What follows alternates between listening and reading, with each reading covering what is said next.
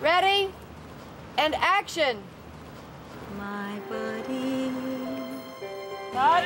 Good. What does a beautiful socialite with a menagerie of animals Good night, everybody. and a baby gorilla in need of a mother have in common? I suppose Buddy's got exactly what he wants. That's the question being raised in the first full length feature film from Jim Henson Pictures Buddy.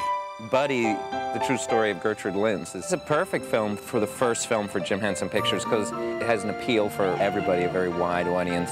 Yet it's it's off-center. I need information, Professor. I have a gorilla living in my house. What do they eat? How do they groom themselves? But most of all, what is their play like? Columbia Pictures invites you to take a peek behind the scenes So he's supposed to be imitating her while she's trying to sing. of this incredible motion picture experience.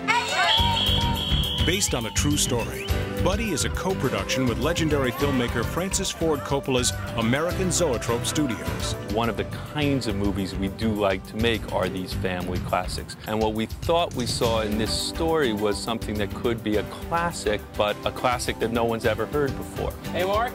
Written and directed by Caroline Thompson, whose credits include such family hits as Homeward Bound, The Addams Family, and Edward Scissorhands. Buddy is a movie about life, seen through two very different pairs of eyes. Buddy is the story about a woman who thinks she runs the world and has to learn she doesn't, and an animal who tries to fit into the world, but he grows up. And that animal is an animal is an animal. This unusual relationship story stars Rene Russo. We needed someone of her stature and ability to, uh, to bring this off, because she really is the heart of the movie.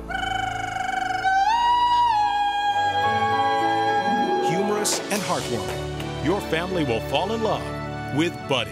You have to save this gorilla, so we finally have someone in the house who can wear my hand-me-downs. Coming in 1997 to theaters everywhere. That was great.